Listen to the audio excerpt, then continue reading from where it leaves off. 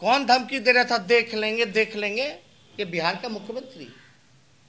गुंडों जैसी बातें करना। टपोरी जैसा बात करना।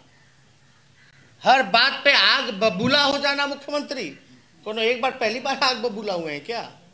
कितनी बार आग बबूला हुए इस सत्र में? मुख्यमंत्री तो कहाँ रहते, नहीं रहते? आप देखिए, कल कौन उकसा रहा था विधान परिषद में? संख्या गिना रहा था संख्या। कौन धमकी दे रहा था देख लेंगे देख लेंगे। ये बिहार का मुख्यमंत्री। गुंडों जैसी बातें करना। टपोरी जैसा बात करना। हर बात पे आग बबूला हो जाना मुख्यमंत्री। कोनो एक बार पहली बार आग बबूला हुए हैं क्या? कितनी बार आग बबूला हुए इस सत्र में?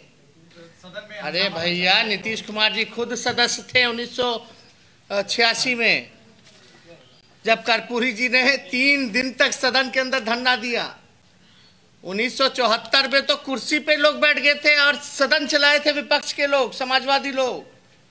नीतीश कुमार जी से पूछो, आज तक पुलिस तो आई नहीं, इसलिए तो हमने उदाहरण दिया। थोड़ा नीतीश कुमार जी के याददाश्त को थोड़ा ताज़ा तो कीजिए।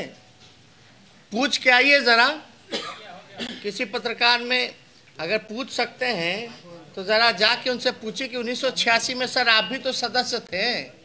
जब तीन दिन तक हाउस में आप लोग बैठे रहे धरना प्रदर्शन करते रहे कर्पूरी जी के नेतृत्व में। सदन के अंदर गाली गलौज करने का भी आरोप है आप आपको गाली का फुटेज हम भिजवा दे क्या? पुलिस के लोग हाँ लात घुसा नहीं नज़र आ रहा आप गाली का आरोप लग रहा है। जी एक सवाल है एक सवाल है कि आज जो है जेडीयू के लोगों ने शेखपुरा स्कूल में आपका नाम लिखवाने गए थे लोग। प्रिंसिपल से बात की है लोग कि तेजस्वी यादव के एडमिशन कराना है? उनको मैट्रिक पास कराना है। इस पर क्या मेरे साथ प्रधानमंत्री का भी लिखवा देते है। ना? हाँ? देखिए। इसमें उसीलिए ना चालीस पे आ गए हैं लोग। सी ग्रेड के सी ग्रेड का पार्टी। इसीलिए ना हम लोग बोलते हैं, सिगरेट का पार्टी और सी ग्रेड का नेता क्यों है भैया? कैसे, इकहत्तर से कैसे आ गए चालीस पे? जरा इसका जवाब तो दे दें। ये तो अपने ही सहयोगियों को ब्लेम कर रहे थे। अपने ही सहयोगी को ब्लेम कर रहे थे। तो इन सब पे कोई टिप्पा टिप्पणी क्या करना?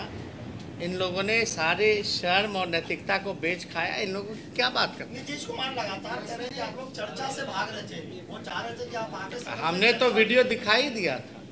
हम तो खड़े उठ के बोले थे कि नहीं बोले थे? आप ही लोग बताइए।